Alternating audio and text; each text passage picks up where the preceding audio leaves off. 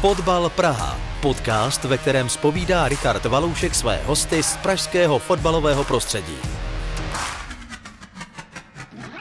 Podcast Fotbal Praha.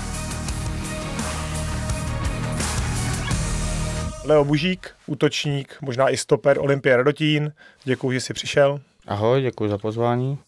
Na rovinu. Jaký největší průšvih eh, má za sebou Leo Bužík, buď na hřiště, nebo mimo něj? Asi když jsem byl v motoroletu, no. Jsem byl v motoroletu a tam nějaký týpek mi něco řekl rasistického, tak jsem se otočil a dal jsem mu facku. Přímo na hřišti. Hm. Jsem dostal hradku a pak už jsem měl 6 zápasů stop. A řešíš to pak i dál třeba, jako že si to chceš vyříkat i po zápase s tím klukem, nebo to prostě z tebe vypadne jenom na tom hřišti? No jako někdy to nevypadne, no. Někdy se ho zeptám po, po zápase, jestli bude dělat hrdý, no. A jak tohle dopadlo? No nijak, nikdo se ještě nepostavil. Kolik dostal zápasů po tomhle? Šest. Šest zápasů. A to bylo v Hmm. přeboru? Mm, mm, to bylo v dorostu. Dorostu, v lize dorostu. Mm. Hmm. A co na to trenér třeba v takovéhle situaci? Zastane se tě, když ví, že to bylo třeba i rasistický? Mm, ne, jako ty to měli jako docela u zadku. Protože jako, jak jsem mu dal tu facku, jak jsem to řekl trenérovi, že jo, to neslyšel, nikdo to neslyšel. Já jsem hrál ještě tehdy prvního beka, no, takže jsme, jsme, že jsme tam byli ve dvou. No, nic no. Dostal jsem jenom redku, on z toho vyvaz prostě podstatně normálně. Postupem času, protože těch urážek asi předpokládám může být i víc eh, na, tu, na ty z rasistického pohledu, tak eh, si už na to zvyklý, už jako se to musí zasměš, nebo pořád ještě občas takhle vystříkneš? Ne, já jsem taková hlava, že vždycky vystříknu, nebo prostě stane balon, tak ho vemu přes párky.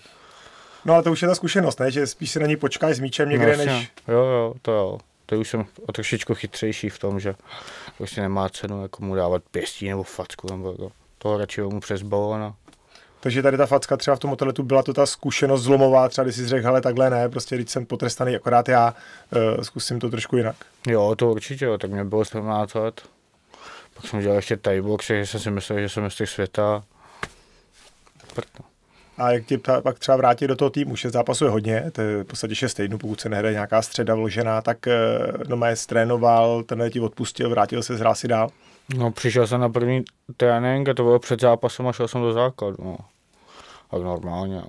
Ale předpokládám, že tě trenér pak upozorňuje každý zápas, No, ti říká jo. Leo, Leo, bacha A na tak to. to mi říká každý trenér i teď. Ale nedělám blbosti, no. Ale co mám dělat?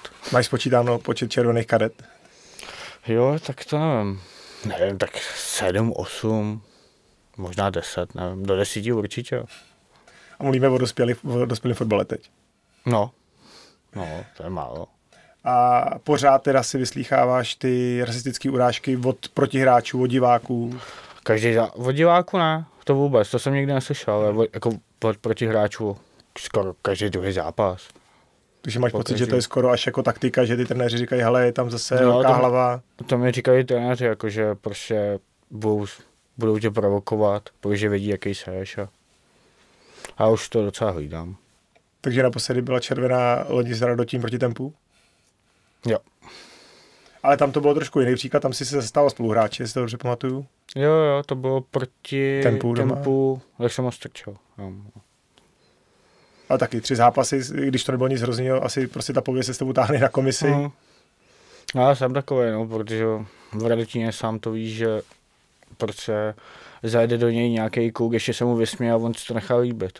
Mluvil jsi o tom, že jsi hrál pravýho beka zrovna v té době za motorlet. Eh, Já jsem tě stavil někdy v útoku, někdy na stoperu, takže jsi takový oboživelník. Co tobě nejvíc sedí za post?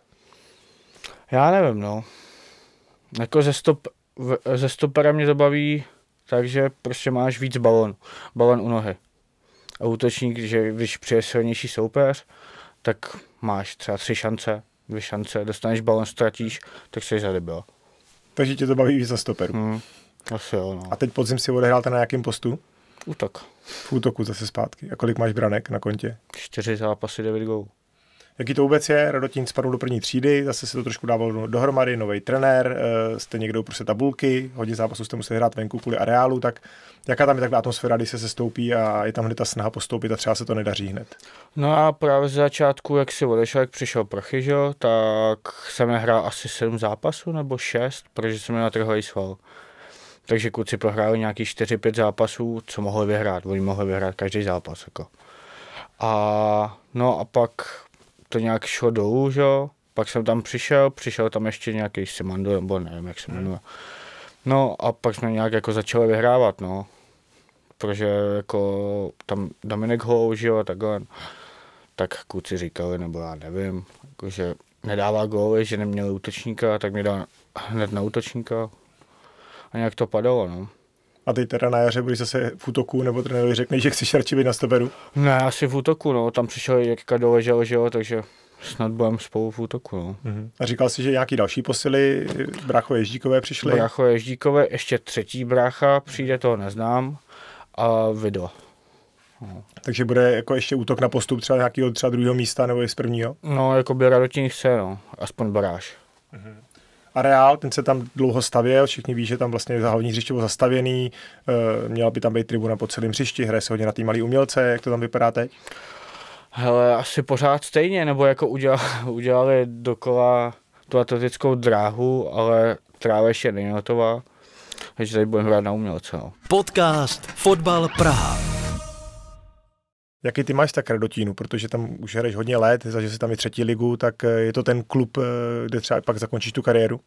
No jasně, jako určitě, protože já jsem tam přišel, když mi bylo 14, 14, ne, ve 14 jsem hrál proti Radotínu a ten si mě vytáhl do nich mě choup. To se, a no a pak Jarda si mě vzal do dorostu ze starších žáků, no a pak jsem šel rovnou do chlapů v 15 letech. Takže jakoby určitě jo. A chtěl bych tam zakončit asi kariéru. Jaký to bylo v 15 letech hrát teda za chlapy? To já nevím, no. Jsem tam byl první zápas, to si pamatuju, do teď na Zličíně jsem hrál, proti Zličínu. No a asi, asi dobrý, no. Nic moc jako těžký. A už v 15 letech jako někdo byl schopný urážet teda jako mladýho kluka? A jo, a tak jako ty lidi, některý jsou fakt na hlavu. Vím, že ti i pomáhají majitelé vlastně tím, že si nějaký čas bydlel přímo v areálu, eh, tak to životní fázi si potřeboval třeba pomoct, tak i tohle ten vztah k tomu klubu, že ti tehdy pomohli. No jasně, jako Karel Klíma a Kořen, jako za mě pomohli, jako mě pomohli určitě dost, jako kdybych je asi neměl, tak nevím no, co teď jako by se mnou, ale... Bylo to takový nejtěžší životní období, neměl si kde bydlet, šel si vlastně bydlet do areálu klubu, pomáhal jsi tam, tak bylo to to nejtěžší životní období. No určitě, určitě jo. Určitě jo. Pak já jsem měl nějaký problém jakoby s rodinou, pak, pak se to udobřilo a naštěstí mi pomohli. No. Teď jsem šťastný s přítelkyní. No. To znamená, už v areálu Radotina nemusíš bydlet, byli no. s přítelkyní na Stříškově, jsme se bavili. Mm-hmm. Takže už žiješ takový ten správný rodinný, skoro rodinný život. No, ještě dítě a může to být. A je to vidět i na tom hřišti, jakože se třeba i díky tomuhle sklidníš, je to úplně jo, to určitě, určitě a hlavně i Lucka mi říká, že ať jsem v klidu a myslím taková horká hlava. No. Asi horká hlava mimo hřiště teda? Určitě. Takže i doma lítají jako talí, talíře občas? No to ne, ale vždycky jako vylítnu, nebo jako, jako já bych nikdy nehodil ženskou, to ne. Ale... Ale může být horká hlava. No to jo, na každýho. Bavili jsme se o tom, že v zimní přípravě máš pět tréninků zatím za sebou. To znamená ne úplně moc. Teď vlastně, když budeme vysílat ten podcast, tak už budete za sebou mít eh, dvě kola nebo jedno kolo jarní soutěže. Tak jak jsi připravený na jaro? Já jsem přip... No fyzicky asi ne. A tak na tu první a třídu to stačí, si myslím. A jako já jsem připravený na každý zápas. Tak ty jsi to vždycky doháněl, mi přišlo ne tréninkama, ale tím, že hraješ handspalku, hraješ sálovou kopanou, máš mm. spoustu těch aktivit jiných, tak předpokládám, že jsi fakt zápasový hráč, ty tréninky jo, nejsou úplně pro tebe. A hlavně jako já, když přijedu třeba, nevím, stěhujeme do pěti hodin a pak mám jet ještě přes celou Prahu do Radotína na trénink a pak ti ještě někdo říká, že tam neběháš. To mě fakt nebaví práci, to si zmínil, děláš eh, stěhováka, mm-hmm. což je teda dost fyzicky náročný, jezdíte po republice, si po pamatuju. Evropě, no. Já jsem vyšel, udělal jsem automechanika a pak jsem šel rovnou na stěhování. Jak je to teda fyzicky náročné? Jako jsi fakt jako unavený, že to jako je... fakt jsem unavený, to já přijdu domů. Třeba teď, jak jsem s tou přítelkyní, tak od, od, od června do listopadu jsem měl každý den, i sobota, neděle prostě. Já jsem nestíhal ani přáteláky, nic, zápasy, nic. Vůbec. Přijdeš, stěhuješ do čtvrtého patra bez výtahu, no a pak máš jedna trénink určitě ne. Nám pomáhá ti to třeba pak na tom hřišti, jako že máš teda jako jsi silnější a tak dále. Jo, nebo... to jako v soubojku určitě. Podcast Fotbal Praha. V Radotíně si dlouho, zažil si tam tu třetí ligu, tak jak to tehdy bylo? Vlastně ty si hrál normálně přebor za Radotín, pak najednou si skočil do třetí ligy, ty jsi tam s tím týmem šel do Ačka, Bčko bylo dál v přeboru, nebo jak to tehdy zažil ty? No my jsme hráli A třídu. A třídu hráli A třídu mm-hmm. a oni tam začali, nějaký Jaro jim tam přišel, že jo. No a Anděl to tam začal dotovat, že jo, pak se spojil Radotín s Olympií, no a tam si vytáhli mě, doležela a Kubištu, Kubišta tam nezůstal, doležela taky ne, a já jsem tam zůstal. A já jsem tam jezdil, ještě jsem tehdy dělal školu, že jo. No, takže jsem radši ch- chodil na přípravu s nima, mi napsali omluvenky, že jo, do školy. No, jako, nevím, no. Pro mě to jako nebyl skok z A3 do třetí ligy. Tam jako třetí liga je de facto jako přebor. Jako fyzička, mm-hmm. souboje, nákopy, nic jiného. Tam není fotbalovost. Byl jsem jako útočník Útočník a středák. a nazbíral si teda i starty, měl jsi tam jako hrál si. Mám, mám i proti Hradci, myslím. Ty jsi chodil na střední teda, tak kolik ti bylo v té době? 16? 16, 17 hrál si třetí ligu. Slušilo to Radotínu, nebo to byl jako fakt až moc velký skok, jako na jednou z té první třídy? Mm, to nebyl ani skok, jako, ale bylo to vidět, že když jsem trénoval s třetí ligou, pak jsem šel pomáhat do A třídy. Jsem si dělal, co chtěl, že jo. A to jsem měl fyzičku jako prase. To už životě ne, nebudu mít. A jaký to pak bylo teda? Pak se teda končilo, vracelo se to zpátky jako do, vlastně spadlo se do přeboru díky tomu, protože se řeklo třetí ligu už ne, takže se spadlo do přeboru. Tak eh, jste to přivítali, třeba jako Radotínský? No někteří jo, ale jenomže jako všichni odešli, že jo, z třetí ligy. Já jsem tam zůstal, Filip Císařovský, no a někdo jako víc, jo. A my jsme byli v A třídě, jako naše Bčko bylo A třídě čtvrtý a měli postupovat dolní chabry. No a na úkor nás, my jsme šli do přeboru, že tam má, měla půlka na to, jako. A já se rád dokupy za chvíli, budete mít tribunu po celém hřišti, tak eh, je tohle to, co tě třeba motivuje tam ještě zůstat, vydržet a užít si tohle, nebo to vůbec nevnímáš to okolí a ta umělka ti je jedno? Eh, ta umělka mi je jako de facto jedno, já jsem tam kvůli lidem, jako a nevím, jako budu rád, že jo, když budeme hrát lepší na trávě než na umělce samozřejmě, že jo. Hmm. Ale záleží, no. Záleží, jako, jak tam zůstanou lidi, jak ne, no. Co jsem slyšel, že chtějí odejít, jako někdo chce odejít, někdo ne, že jo. Je vždycky to o těch stazích, no. Hmm. Ty si umíš představit, že by se ještě nasobil proti Radotínu, třeba nějakým tý jiným týmu? Chtěl bych. Si chtěl to bych. takhle zkusit proti Hmm. Radotínu? Už jsem hrál jednou proti Radotínu, a chtěl bych za Hořovicko, když jsem hrál ještě. A nebylo by teda snadný tě pak vyprovokovat ty bývalí Ne, spoluhráči? to bych se neprovokoval. Bych jim dal tři fíky a pak by se jenom zasmál. Mluvil jsi o tom, že jsi do Dotína přišel ve 14 letech, tak eh, kdy jsi začal vůbec s fotbalem, kdy, nebo byl ještě jiný sport třeba předtím? Mm, já jsem dělal jako od malička box. No, já jsem se pak přestěhoval ze Slovenska sem a kámoš mě vzal do dolních Měchů. A to jsem hrál proti Radotínu. Jsme hráli v devíti lidech a tam byl Bogdanov, jestli ho znáš, ne? Vím, vím. No, my jsme hráli v devíti lidech a hráli jsme proti Radotínu a já jim dal pět gólů. No a on pak zavolal mý Jako normální zápas 11 na 11 a na No. vás bylo jenom 9. Jo. No, a já jsem jim dal pět gólů, vyhráli jsme 7-2 a on zavolal právě Bogdanov mámě, kde bydlíme, že jo, tak jsme byli na Zvraslavě. No, tak jsem šel na zkoušku. A na Slovensku teda fotbal si vůbec nehrál. To si, Hrál jsem, ale to jako, to jsem hrál za Beladice, to nějaká Mhm. mm-hmm. vesnice. A pak za té Moravce, ale to, tam jsem jenom trénoval. za ten Moravce Unitry, ty teď Mm. vlastně hrajou nejvyšší soutěž, hrajou Jo. tu generálku ze Sláví, takže tam odsaď pocházíš z téhle oblasti. tam hrál táta právě. Tam Mhm. hrál první ligu. Druhou, myslím, první. No. Takže tátovi kořeny, jako to, že jako byl fotbalista, tak to v tobě zůstalo. Jo, jo, to jo. A kdo je teda teď třeba takový ten tvůj největší fanda? Je to teda ta přítelkyně, nebo Přítelkyně a máma, máma, nevlastní táta. Na rovinu. hodně samozřejmě se spojuje v těch nižších soutěžích životospráva. Jak to Hm. máš teda ty se životosprávou? Jsi schopný jako jít před zápasem na pivo, nebo si to necháváš po zápase a pak to rozjedete se spoluhráčema? No, bývá, bývával, když jsem chodil před zápasem, no. Ale i před zápasem, i po zápase, ale teď už jako někdy si dám, jako že si dám třeba tři, čtyři pivka a jdu domů. Ale teď co ani jako neskusím, protože pátek přijdeš po práci unavený jak prase, dá si tři piva a chceš jít, spát, chceš jít spát, no. Ale jako stalo se samozřejmě, že jsem byl celou noc někde, a pak jsem šel rovnou na zápas, ale jako nedám to na sebe znát. No. A je to, nebylo to vidět, jako že by někdo řekl, hele, ty jo, no, vždycky, právě trenéři mi říkali, že radši ať chodím chlastat. Jsi byl lepší, jo? No. Jsi z toho pak nebal. To bylo všechno jedno, že jo. Dokdy jsi měl nějaký sen, že to někam dotáhneš? Dokdy jsi jako snil, že třeba ta liga jako pro tebe bude, nebo jsi to nikdy neměl takhle v hlavě? Ty jo, asi když, no, asi se to zlomilo, když mi bylo 20, 21. Jsi poznal ten vír toho velkoměsta, jo? Nebo? No, hlavně jako, do, jako dnešní doba, jako když nemáš známost, nebo, tak se nedostaneš nikam. Vy to vidíte tu první ligu, co to jako je, fotbal. To není fotbal. A ve 20 jsi byl teda v Radotíně a hráli jste už zpátky teda jako by ten přebor. Jo.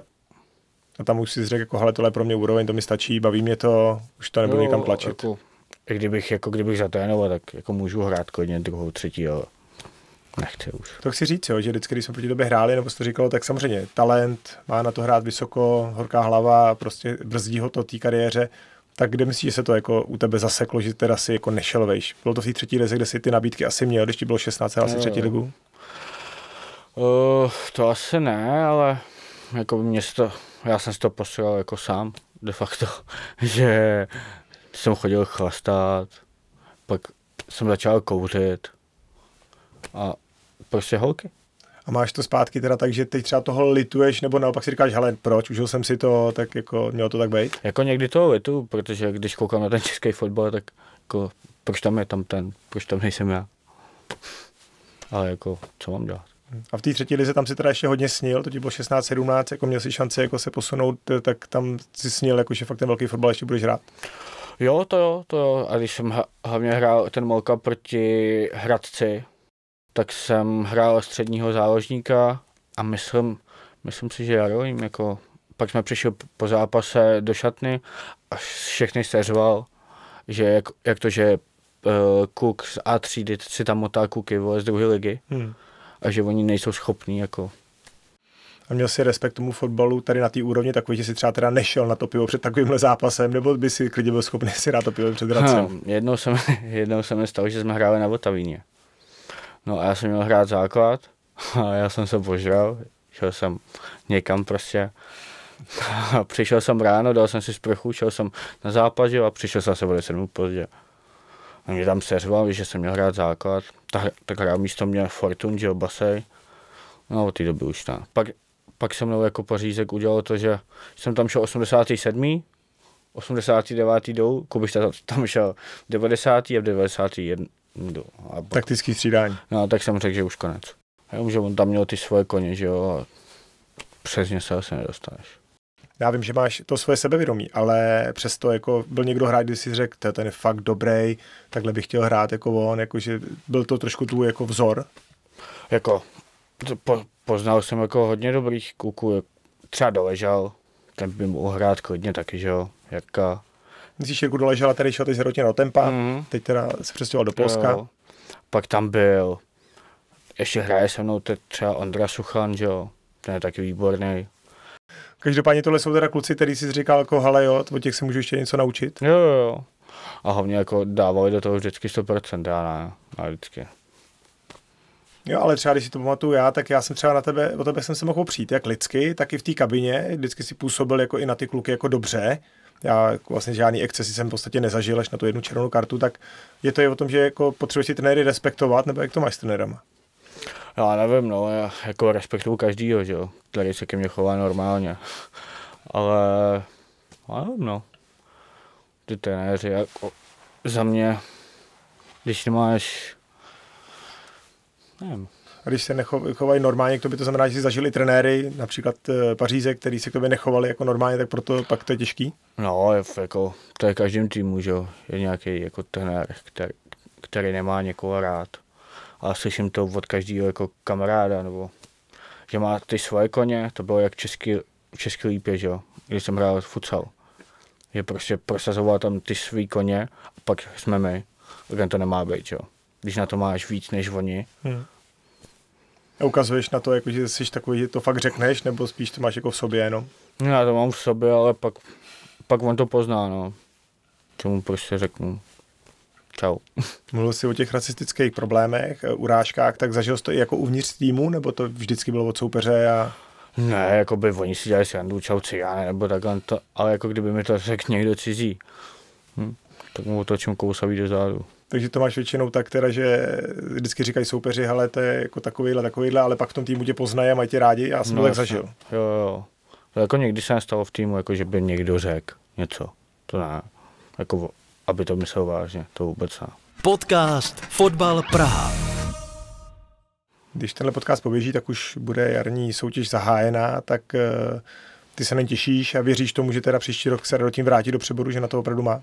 Jo, já doufám, že jo. Teď ještě jak přiš, uh, přišly ty ježdíce a, a když, se, když se dají dohromady, tak za mě jako máme na, tu, na ten přebor. No. A máš sobě pořád ty ambice, že jako chceš hrát co nejvejš, nebo prostě je ti jedno, jaká je to soutěž, hlavně, že to je v rotině? To ne, já chci hrát, jako chtěl bych do přeboru, protože ta A třída, jako někdy jsou tam lepší zápasy než přebor, to jo. Ale prostě ta A třída, nevím, no. Tam máš jako je šest týmů a pak je zbytek, no. Máš to hodně tak, že potřebuješ mít kolem sebe dobrý spoluhráče, aby tě to bavilo, abys jako nebyl v úzovkách otrávený. Jo, určitě jo, protože jako kdo hraje pak na sebe, tak to mě nebaví. Ale třeba když můžeš jít pomoct Bčku, tak když vždycky mi přijde, jako když hraješ celý záčko, tak jdi za Bčko. To jo, ale mám zákaz, abych se nezranil. To už teď jako platí, že za Bčko nechodíš. Mm-mm. Jsem dlouho nebyl za Bčko. A to B tým zrovna na rodině je to docela špatně, ne? Je špatně, no. Nejsou lidi a bohužel, teď hraju v pátek, že jo, já jsem chtěl jít aspoň na půlku. Prachy mi takže ne, určitě ne. Ty jsi zároveň trenér, pokud to platí stále. Teď už mladším dorostu? Nebo? Mladším dorostu, ale teď vůbec nestíhám, no. Kdy tohle začalo vůbec, jsi začal trénovat? Ty jo, minulý rok to bylo. Minulý rok, když tam byl Andrea Kutina, že jo, no oni nějak jim to nešlo, to jsem šel do starších žáků, jak jsem tam přišel s Lukášem.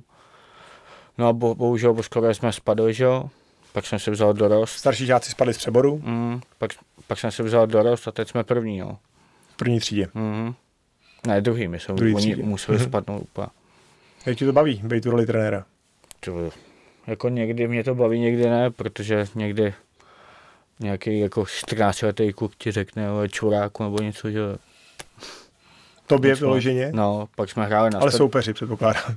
No, a ještě jako jsme hráli na stodůlkách. Přišel tam nějaký 17 letý rozhodčí a smál se ti do ksichtu. No, to je něco pro mě, jo. Ty jsi horkokrevný před klukama? No, jo, jo, určitě jo. A máš ale v sobě to, že chceš zároveň být vzorem těm klukům, jakože no, ta hranice jako zase samozřejmě, mezi tím. Samozřejmě. A pomáhá ti asi u těch kluků i to, že hrají za ten nejvyšší tým toho klubu, za Ačko v první třídě, tak uh, i díky tomu máš ten respekt, se chodit dívat, podávat tam míče. No samozřejmě, samozřejmě, jako určitě jo. Hlavně jako dívají se jinak, že když dáváte góly a ale jsi takový, že pak tomu trenérovi týmu eh, Petrovi Procházkovi říkáš třeba, hele, máme tam zajímavého kluka, pojďme ho hodit do tréninku, třeba si to zkusí. Jo, tam máme toho golmana, že jo, Kazmiho, mm-hmm. ten je výborný, ten by mohl klidně chytat jako první ligu, že jo. Máš nějakou vizi třeba, kam ještě v tom fotbale, jako jak dlouho ještě budeš hrát, eh, kde budeš hrát? Nevím, no. Uh, no, chtěl bych ještě určitě hrát, jo, ale jako uvidí se, no. Co Radotín bude chtít, co nebude chtít. Třeba jim nebudu vyhovovat a půl někam jinam, jo. Tak já ti přeju, aby tomu tak bylo, aby si byl spokojený nejen doma, ale i na hřišti a aby Radotín se o ten postup opral. Tak děkuju moc za pozvání ještě jednou a to by se taky tady, jo. Podcast Fotbal Praha.